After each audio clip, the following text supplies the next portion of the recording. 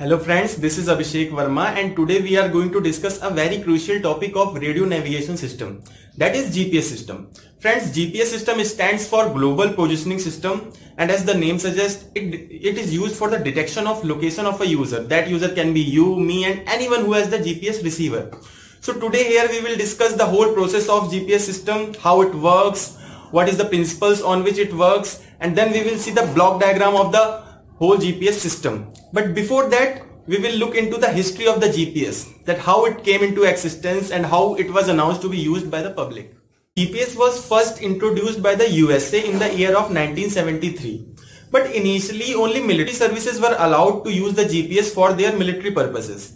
But after an accident in the year of 1983, that was a Korean aircraft was traveling through the aerospace of the Russia and it was having near about 250 of passengers.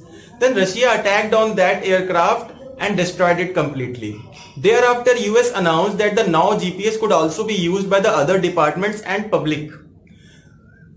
From the year of 2000 GPS completely came into existence for the use of the public. Now we will see the whole mechanism of the GPS that how the system works whole GPS system is based on the two major portions. That is the GPS receiver and the satellite. Satellite is also termed as the GPS visibility in the system. So GPS receiver is the device whose location is to be detected by the GPS. And uh, satellite visibility are the signals which are being transmitted after a definite time interval from, from the GPS satellites. There are total 70 GPS satellites in the space on the height of 20,000 kilometers from the Earth surface and 32 of them are completely active. Now we can see the process of the trilateration which is the fundamental process for the GPS system. Now if the, there is a GPS satellite A and our GPS receiver is situated on the point P. Now when the, this receiver is allowed to uh, gain the signal from the GPS satellite, then it detects its signal and confirms that the user is in the radius of this satellite.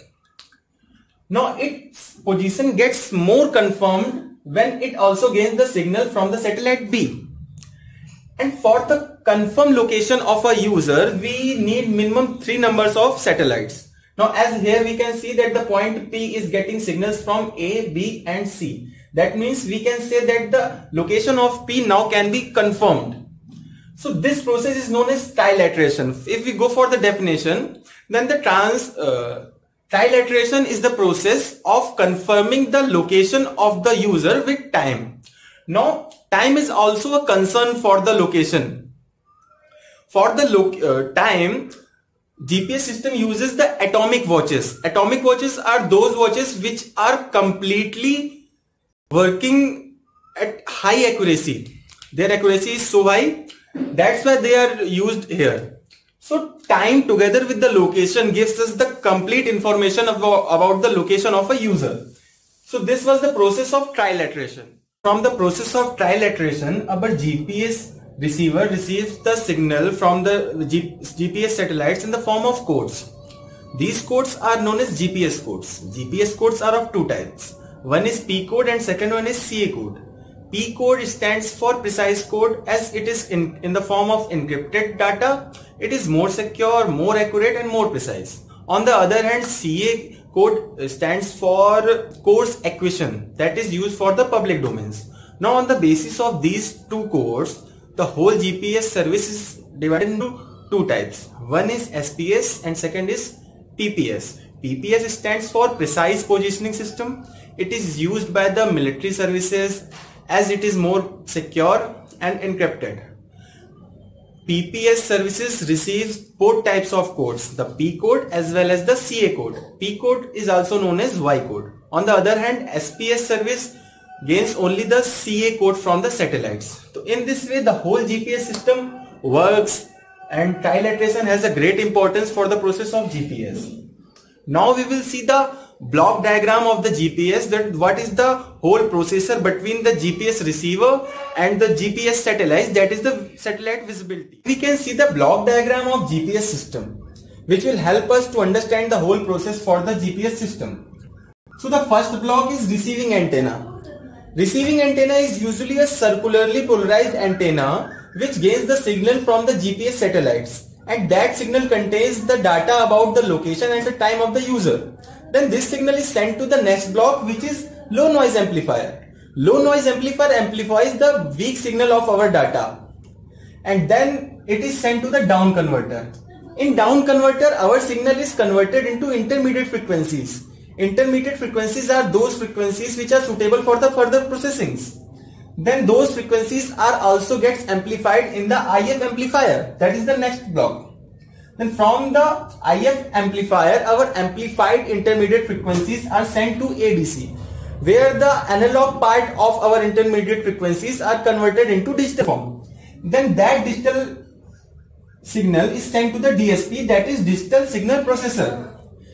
It is the important block for the whole GPS system because here the GPS codes for which we have talked earlier, it is extracted out so here our signal is checked that whether it is a CA code or P code. Then after extracting that codes, the whole information is sent to the microprocessor. We can say that the microprocessor is the mother of this system because all the calculation about the position, the location, the time, everything is being calculated in the microprocessor and it checks the signal and sends to the display if it found that it is worth to be displayed. So in this way the whole GPS system works between the receiving antenna and our screen display. Now let me introduce yourself from the other navigation systems eminent in the world. Friends, we were talking about the GPS system that that was introduced by USA. Now other GPS systems are GLONASS from the Russia, Beidou from the China, Galileo from the European Union. And now India has also developed its own navigation system and that is known as NAVIC. NAVIC consists of six satellites but NAVIC is not has been completely developed that's why we are not using NAVIC currently. So friends uh, now we will talk about the GPS system we are using in our mobile. In our mobile we are using a GPS that is assistant GPS service.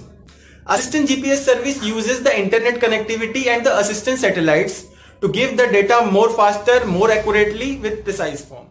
In this way, we studied the GPS system by going through the process of trilateration, GPS codes and services, the whole block diagram of the GPS system. We have also seen the other GPS systems on the world and also studied the AGPS.